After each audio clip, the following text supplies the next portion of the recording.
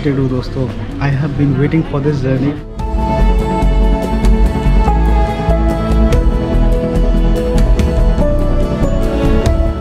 Kashmir को जन्नत क्यों कहते हैं, ये आपको मालूम चलेगा धीरे धीरे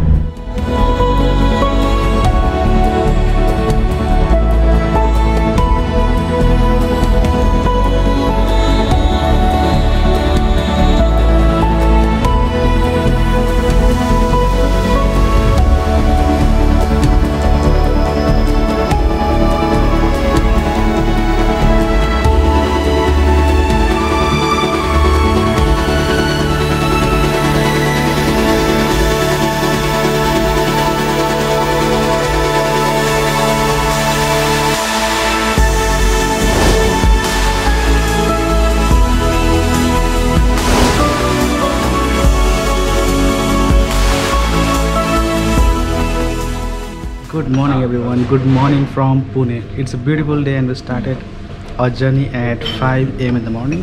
उसके बाद ऑलमोस्ट हमें आधे घंटे लग गए अपना कैब बुक करने को पता नहीं आज बुक ही नहीं हो रहा था उसके बाद भी एक इशू हुआ हमें अब जब पहुँचे तो हमारा जो कनेक्टिंग फ़्लाइट है, जो Delhi to Srinagar because we travelling from Pune and Pune to Delhi उसके बाद दिल्ली टू श्रीनगर, हमारा जो दूसरा फ़्लाइट है, उसका बोर्डिंग पास हमें मिला नहीं था जब मैं वेब चेकिंग कर रहा था और हमें ये बताया गया था कि हमारा बोर्डिंग पास पुणे में मिलेगा।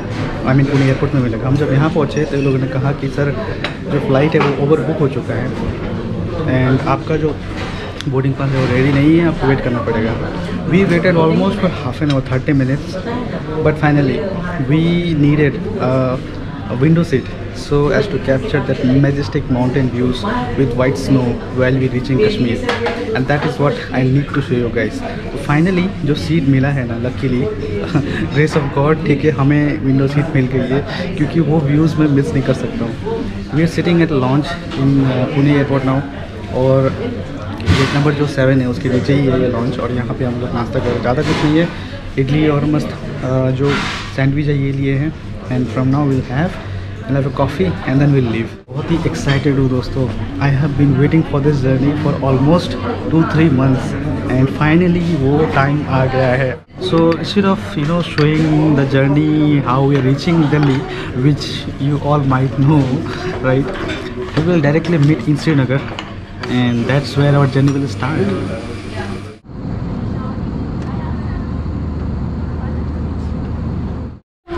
जाओ finally guys first flight reached at 10:50 and the second flight boarding started at 10:45 we had to run for almost like 20 minutes still running i thought we are gonna miss the flight today so finally we are boarding the second flight to srinagar we are about to reach srinagar तो अभी twelve thirty हो रहा है and जो flight का estimated time है पहुँचने का वो है ऑलमोस्ट सवा एट वन फिफ्टीन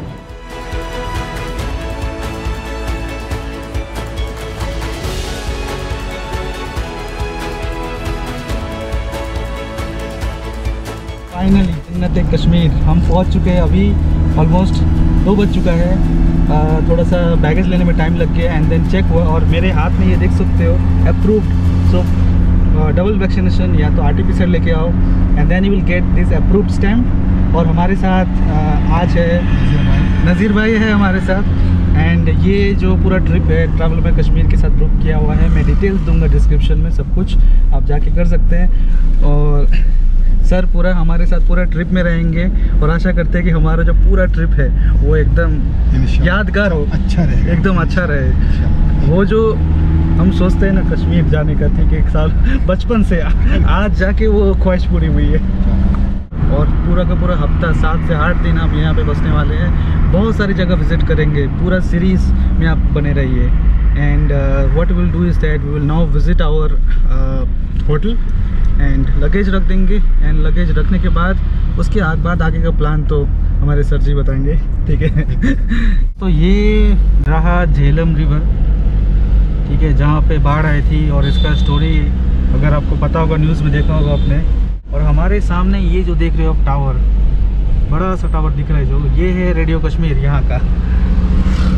तो जैसे जैसे हम आगे बढ़ते जा रहे हैं हर एक पॉइंट पे हम ये जानने की कोशिश कर रहे हैं कि क्या है या क्या चीज़ नहीं है। ये मुगल दरबार होटल है।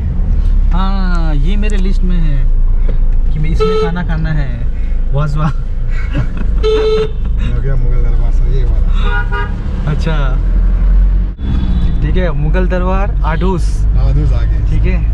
बहुत पुराना है आडूस ना? हाँ, बहुत पुराना है। पहले ये कैफ़े हुआ करता था हाँ। है ना? कैफ़े हुआ करता था तो थोड़ा सा इन्फॉर्मेशन मैं भी निकाल के आया हूँ ठीक है? तो आडूस और मुगल दरबार। खाएँगे फिर आपको बताएँगे कि किस तरह का यहाँ पे जायका मिलता है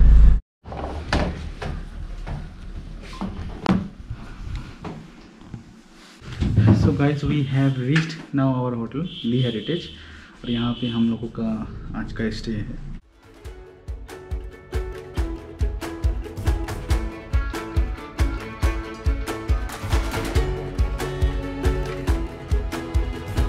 अगला कहाँ जाएँगे?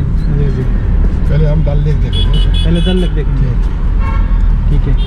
तो सबसे पहले दल लेक चलते हैं इसका नज़ारा। वैसे तो दल लेक का अलग से एक दिन हम रुक रुकने वाले फिर भी वहीं से शुरुआत करते हैं। जो श्रीनगर की सबसे मशहूर the most important place in Srinagar right is Dal lake and will start from it सबसे पहले तो ये बाजू में जो दिख रहे हैं आपको यहाँ पे हाउस बोट्स लगे हुए हैं और ये बहुत बहुत पुराने हैं। कितना साल पुराना होगा वैसे हाउस बोट्स ये हाउस बोट है आधे आधे नए भी बने आधे पुराने भी हैं। हो गया बहुत पुराने ना? हाँ, पुराने भी हैं। मतलब एकदम अंग्रेज़ों के ज़माने के भी होते हाँ। हैं होते हैं हाँ। ये शिकारा है इसमें राइड कर रहा है शिकारा राइड कर रहा है घूमने के लिए। अच्छा। हाँ ये सब शिकारे के वैसे चार्जेस कैसे होते हैं? शिकार से चार्जेस होते हैं घंटे के हिसाब से होता है कोई लेता है जो चार दो घंटे के लिए हाँ। हज़ार रुपये बनता है उसका अच्छा। घंटे के लिए। अच्छा। हाँ।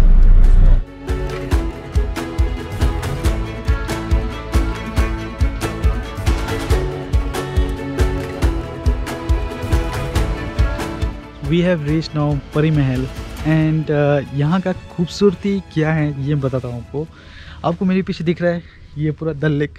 Can see the entire view of the Dal lake from here and also the snow cap mountains wait I show you is it visible it is almost evening four thirty और five but you can see little bit of white snow on the mountains right and just see the mountain ranges and the entire Dal lake behind me here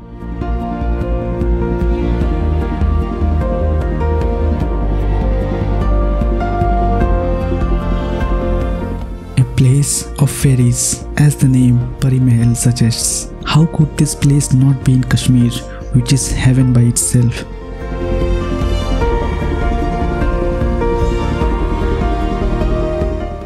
In summers, this place will be in full bloom with stunning views of the Dal Lake.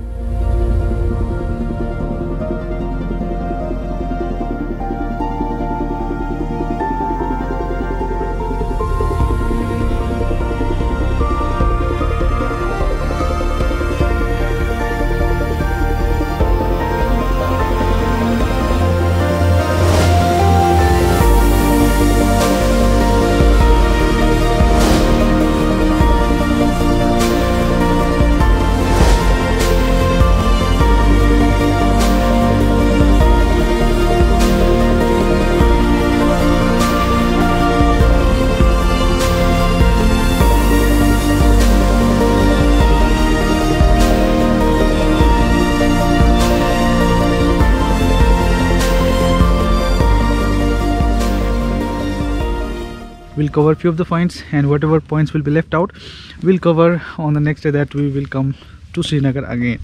And today I did not cover Dal Lake. The reason because we have a separate day dedicated for Dal Lake. Because the views that I want to capture should be mesmerizing. So we have reached our next stop which is Chashme Sahi. And uh, this was just uh, I think 5-10 minutes away from Pari Mahal so जो वो जो view दिख रहा है ना आपको, वो दल लेक का व्यू ठीक है, वो परी महल से पूरा दिख रहा था। बट डिफरेंस ये है कि चश्मे शाही में ये भी बाग है, वो भी बाग है एंड ऑलमोस्ट जो इंफ्रास्ट्रक्चर है सिमिलर काइंड है। But if you go to Pari Mahal you will have a very very good look of the the lake. But if you come to Chashme Shahi the snow capped mountains will be much more clear to you. So, if you see on the back side of me this Chashme Shahi Bagh is surrounded by mountains that too snow capped